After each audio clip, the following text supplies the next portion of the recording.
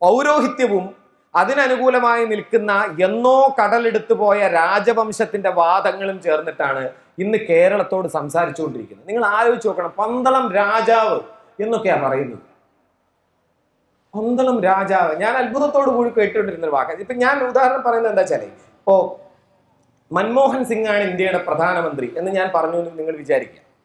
അല്ലെങ്കിൽ ഉമ്മൻചാണ്ടിയാണ് കേരളത്തിന്റെ മുഖ്യമന്ത്രി എന്ന് ഞാൻ പറയുന്നു എന്ന് വിചാരിക്കുക. നിങ്ങൾ എന്നോട് എന്ത് പറയും? നിങ്ങൾക്ക് തലയ്ക്ക് സുഖമില്ല എന്ന് പറയും. പറയില്ലേ? അല്ലെങ്കിൽ നിങ്ങളൊരു നിങ്ങളൊരു നാല് വർഷം മുമ്പ് ജീവിക്കുന്ന മനുഷ്യനാണെന്ന് പറയും. അപ്പൊ ഈ പന്തളം രാജാവ് എന്നൊക്കെ പറയുന്ന മനുഷ്യർ എന്ത് പറയണം അവർ ഏത് കാലത്താണ് ജീവിക്കുന്നത്? പന്തളത്തെവിടെയാ രാജാവ് ഇരിക്കുന്നത്? പന്തളത്തല്ല ഒരു രാജാവും കേരളത്തിൽ നിന്ന് നിലവിലില്ല. രാജവംശങ്ങളുടെ കാലം എന്നോ കഴിഞ്ഞുപോയി. ആയിരത്തി തൊള്ളായിരത്തി അമ്പതിൽ ഇന്ത്യൻ യൂണിയൻ രൂപീകരിച്ചതിന് ശേഷം ഇന്ത്യൻ ഭരണഘടന നിലവിൽ വന്നതിന് ശേഷം ഇന്ത്യയിൽ ജനാധിപത്യ സർക്കാരുകൾ നിലവിൽ വന്നതിന് ശേഷം ഇന്ത്യയിൽ ജനങ്ങൾ ജനങ്ങളാൽ തിരഞ്ഞെടുക്കപ്പെടുന്ന ഭരണകൂടങ്ങൾ വന്നതിന് ശേഷം എന്ത് രാജാവ്? രാജാവിനെ ബഹുമാനിച്ചില്ല എന്നൊക്കെയാണ് രമേശ് ചെന്നിത്തല പറയുന്നത്. രാജാവിനെ ബഹുമാനിക്കാൻ മുഖ്യമന്ത്രിക്ക് കടമയുണ്ട് മുഖ്യമന്ത്രിയുടെ പ്രധാന ജോലി രാജാക്കന്മാരെ ബഹുമാനിക്കലാണല്ലോ ഈ രാജാവിന്റെ ഒരു പത്രസമ്മേളനം ഉണ്ടായിരുന്നു. ഇത്രയും വലിയൊരു കോമഡി ഷോ ഞാൻ അടുത്ത കാലത്തൊന്നും കണ്ടിട്ടില്ല.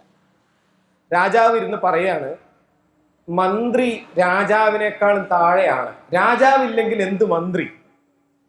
അത് നിങ്ങൾ മനസ്സിലാക്കണം. ഒരു രാജാവ് പറയാ കേരളത്തിലിരുന്ന്.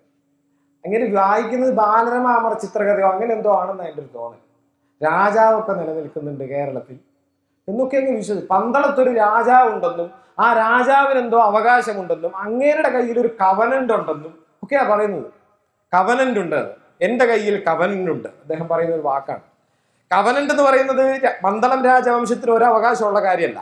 അത് തിരുകൊച്ചി സംസ്ഥാനവും തിരുവിതാംകൂർ രാജ്യവും തമ്മിലുള്ള കരാറാണ്. തിരുവിതാംകൂർ രാജ്യമാണ് അതിനകത്ത് ഒപ്പുവെച്ചിരിക്കുന്നത് പന്തളം രാജാവിന് ആ കവനന്റിൽ ഒരു കാര്യവുമില്ല അത് പോട്ടെ. ഇനി ഈ കവനന്റ് എന്ന് പറയുന്ന എന്നത്തെ കവനന്റാ? ആയിരത്തി തൊള്ളായിരത്തി നാൽപ്പതുകളിലെ കവനന്റ്. നാൽപ്പതുകളിലെ കവനന്റോ നാൽപ്പതുകളിലെ എന്ത് കടലാസ് നമ്മുടെ കയ്യിലുണ്ടായിട്ട് ഒരു കാര്യവുമില്ല എനിക്ക് രാജാവായിരുന്നു എനിക്ക് കൊട്ടാരം ഉണ്ടായിരുന്നു എനിക്ക് കിരീടം ഉണ്ടായിരുന്നു പാപ്പാസ് ഉണ്ടായിരുന്നു ഉത്തരീയ ഉണ്ടായിരുന്നു എന്നൊന്നും പറഞ്ഞാൽ അതൊന്നും ഇന്ത്യൻ യൂണിയനിൽ നിലനിൽക്കുന്ന കാര്യമല്ല.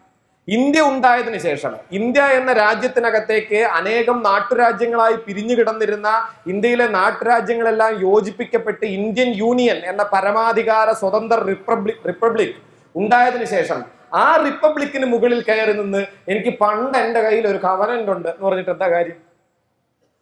എന്റെ പഴയ ഒരു അമ്മാവനുണ്ടായിരുന്നു. അങ്ങേർക്ക് പഴയ ഒരു കാറുണ്ട്. അതായത് കള്ളം കൊണ്ടുപോയി. കള്ളം കൊണ്ടുപോയി കഴിഞ്ഞപ്പോൾ മൂപ്പര് പറഞ്ഞിരുന്ന കാര്യം കാറ് പോയാൽ എന്താ താക്കോൽ എന്റെ കയ്യിലുണ്ടല്ലോ? മൂപ്പരയിൽ താക്കോലുണ്ട്. അതുപോലെ രാജാവ് ഇപ്പൊ കവനന്റ് എടുത്തുകൊണ്ടിരിക്കുന്നത് കാറ് പോയി താക്കോൽ കയ്യിലുണ്ട്.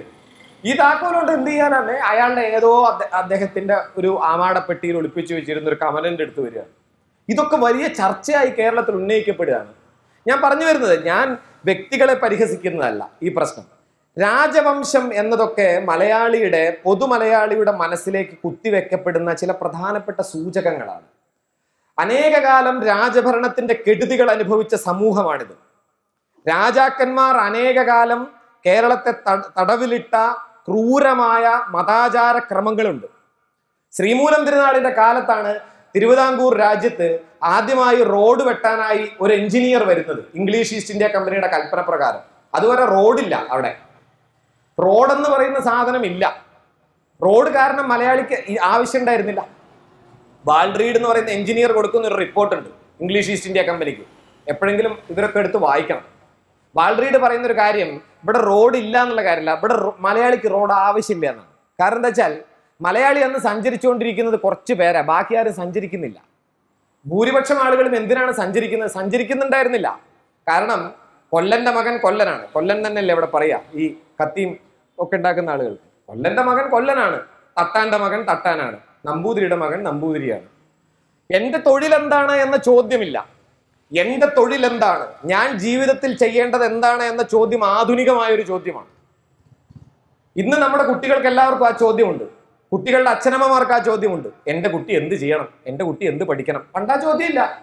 ഞാൻ അവിടെ അമ്പലത്തിന്റെ മുമ്പിൽ പോയി നിന്ന് ചെണ്ട കൊട്ടുന്ന പൊതുവാളാണെങ്കിൽ എന്റെ മകനും ചെണ്ട കൊട്ടും. വേറെ പ്രത്യേകിച്ചൊന്നും ചെയ്യാനില്ല. എന്റെ അച്ഛനും ചെണ്ട കൊട്ടിക്കൊണ്ടിരിക്കുകയായിരുന്നു. ഞാൻ പാടത്ത് പോയി പണിഞ്ഞു പണിതുകൊണ്ടിരിക്കുന്ന ഒരു പുലയനാണെങ്കിൽ എന്റെ മകനും പുലയനാണ്. അവനാ പണി ചെയ്തോളൂ. ഇങ്ങനെ ജീവിക്കുന്ന ഒരു സമൂഹത്തിനകത്ത് യാത്ര ആവശ്യമില്ല. ഇതുകൊണ്ടാണ് കാൾമാക്സ് പണ്ട് എഴുതി വെച്ചത് ഇന്ത്യൻ സമൂഹത്തെ പറ്റി കാൾമാക്സ് എഴുതുന്ന ഒരു വാചകമുണ്ട് ഒരു തുണ്ട് ഭൂമിയിലെ കാട്ടാള സംതൃപ്തി. മാർക്സ് എഴുതി എത്ര ഭംഗിയായിട്ട് ഇന്ത്യയിൽ ജീവിച്ചവർ എന്നത് എഴുതിയിട്ടില്ല. ഒരു തുണ്ട് ഭൂമിയിലെ കാട്ടാള സംതൃപ്തിയിലാണ് ഇന്ത്യക്കാർ ജീവിക്കുന്നതെന്ന് കാൾ മാർക്സ് എഴുതി വെച്ചു. എന്താ അങ്ങനെ പറഞ്ഞാൽ ഒരു തുണ്ട് ഭൂമിയിൽ കാട്ടാളന്മാർക്ക് വനത്തിൽ താമസിക്കുമ്പോൾ തോന്നുന്ന ഇതന്നെയാണ് ലോകം എന്നൊരു സംതൃപ്തി ഉണ്ട്. അങ്ങനെയാണ് കേരളത്തെ ഇന്ത്യയിലെ നിശ്ചല ഗ്രാമങ്ങളിൽ മനുഷ്യർ ജീവിക്കുന്നതെന്ന് അദ്ദേഹം പറഞ്ഞു. നിശ്ചല ഗ്രാമം എന്നുള്ള കൺസെപ്റ്റിനൊക്കെ മറ്റു അത് അവിടെ നിൽക്കട്ടെ പക്ഷേ അദ്ദേഹം പറഞ്ഞ കാര്യം വാസ്തവമാണ്. അങ്ങനെ അവിടെ മനുഷ്യർ ജീവിച്ചിരുന്നത്. അവിടേക്കാ വാൾറീഡ് പറയുന്നത്. ഇവിടെ റോഡ് ആവശ്യമില്ല. റോ വാൾറീഡിന്റെ റിപ്പോർട്ടിൽ വേറൊരു രസകരമായ കാര്യം കേട്ടോ. ഞാൻ ആനുഷംഗികമായി മാത്രം അത് പറയാം. വാൾറീഡ് പറഞ്ഞു ഇവിടെ സഞ്ചരിച്ചുകൊണ്ടിരിക്കുന്ന മനുഷ്യർ അതിവിചിത്രമായ രീതിയിൽ എന്റെ കണ്ണ് തള്ളിപ്പോകുന്ന രീതിയിലാണ് അവർ സഞ്ചരിക്കുന്നത്. അവരൊരു പെട്ടി ഉണ്ടാക്കിയിട്ടുണ്ട്. ആ പെട്ടിക്കകത്ത് അവർ കയറിയിരിക്കും എന്നിട്ട് നാലാൾക്കാർ ആ പെട്ടി ചുമന്നുകൊണ്ട് നടക്കും. അത് ഇംഗ്ലീഷുകാരനെ സംബന്ധിച്ചിടത്തോളം അത് കാണുമ്പോൾ വലിയ അത്ഭുതമാണ്. കാരണം അവരാകെ ശവപ്പെട്ടിയിൽ മാത്രമേ ആളെ ഇരുത്തി ഇങ്ങനെ കൊണ്ടുപോകാറുള്ളൂ. അല്ലെങ്കിൽ അവർക്കത് വലിയ അപമാനമാണ് ഒരു പെട്ടിക്കകത്ത് കയറിയിരുന്ന് നാലാൾ ഏറ്റുക എന്ന് പറയുന്നത് എത്രയോ നൂറ്റാണ്ടുകളായി ഇംഗ്ലീഷുകാർക്ക് അപമാനമാണ്. കുതിര കെട്ടിയിട്ട് വലിപ്പിക്കാം ഒരു വണ്ടിയെ. അതിനകത്തിരിക്കാം പക്ഷെ നാല് മനുഷ്യർ ഒരാളെ ഒരു പെട്ടിയിൽ ഇരുത്തി ഏറ്റുക എന്ന് വെച്ചാൽ അത് ശവപ്പെട്ടിക്കകത്ത് മരിച്ചതിന് ശേഷം മാത്രമേ പതിവുള്ളൂ. അപ്പോഴവിടെ അത് കാണുന്നത്. അദ്ദേഹം പറയുന്ന അതിവിചിത്രമാണ് ഈ സഞ്ചാരം. ഈ ഈ സഞ്ചാരം നടത്തുന്ന കുറെ ഫ്യൂഡൽ ജന്മികളും നമ്പൂതിരികളും ഒക്കെ അവിടെ ഉണ്ട്. അവർക്കാണ് അവരാണ് ആകെ സഞ്ചരിക്കുന്നത്. ഈ സഞ്ചരിക്കുന്ന ആളുകൾക്കാകട്ടെ ഈ താഴെ കൂടെ നടന്നു പോകുന്ന ആളുകൾ തോടാണോ പുഴയാണോ കാടാണോ ഇടവഴിയാണോ? ഈ പോകുന്ന ആളുകളെ പാമ്പ് കടിച്ച് ചത്താൽ ആ ചത്ത ആളെ പിടിച്ച് അപ്പുറത്തേക്ക് മാറ്റിയിടുക അടുത്ത ആളെ കയറ്റി നിർത്തുക എന്നുള്ള പ്രശ്നം മാത്രമേ ഉദിക്കുന്നുള്ളൂ. ഇങ്ങനെ ജീവിക്കുന്ന മനുഷ്യരാണ്. അവർക്ക് ഈ ഈ പെട്ടിയിലിരിക്കുന്ന ആൾക്ക് താഴെ റോഡ് ഉണ്ടോ എന്ന് അറിയേണ്ട ഒരു കാര്യമില്ല ഇങ്ങനെ ജീവിച്ചൊരു സമൂഹമാണ്.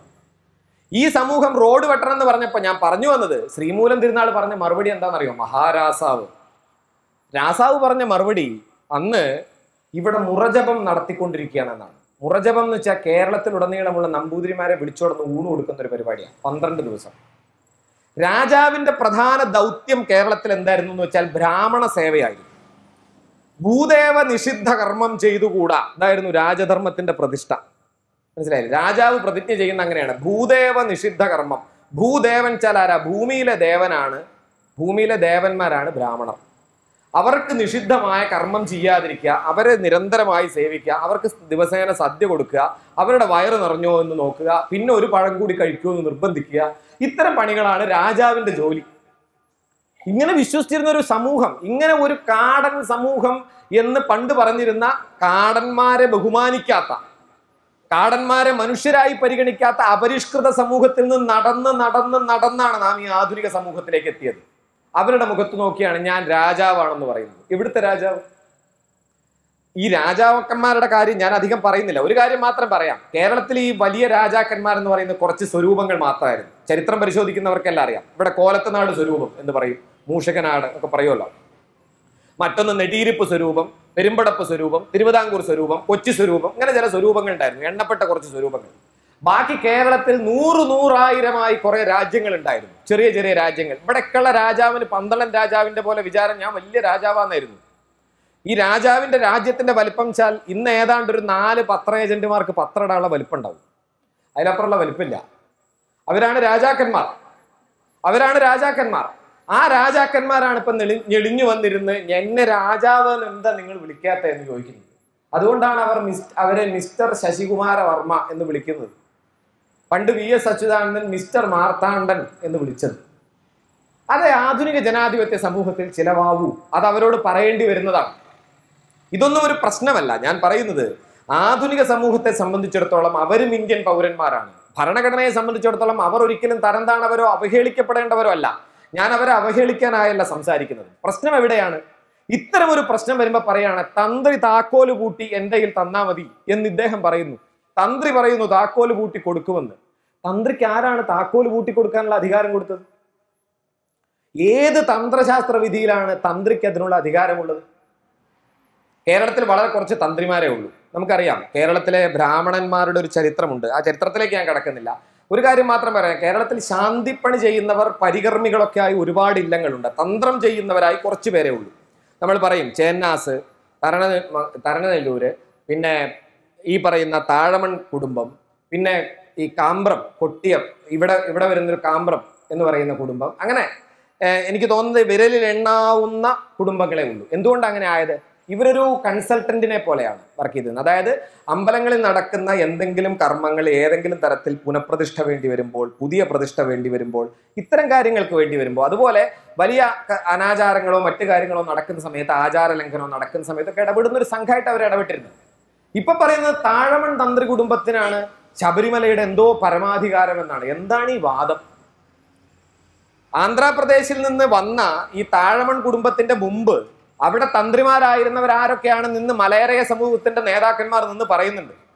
അവർ പറയുന്നുണ്ട് കരിമല അരയൻ എന്ന ആദ്യത്തെ അവിടുത്തെ തന്ത്രിയെ നിങ്ങൾക്ക് അറിയാമോ ശാന്തിപ്പ അവിടുത്തെ അവിടുത്തെ ആദ്യത്തെ കർമ്മം ചെയ്തിരുന്ന കരിമല അരയനെ താളിനാനി അരയനെ അവരുടെയൊക്കെ ചരിത്രം പിന്നിട്ടിട്ടാണ് പിന്നീട് അവിടെ നിന്ന് വന്ന ഇവർ ഇവിടേക്ക് വന്ന് ആധിപത്യം ഉറപ്പിച്ചത്.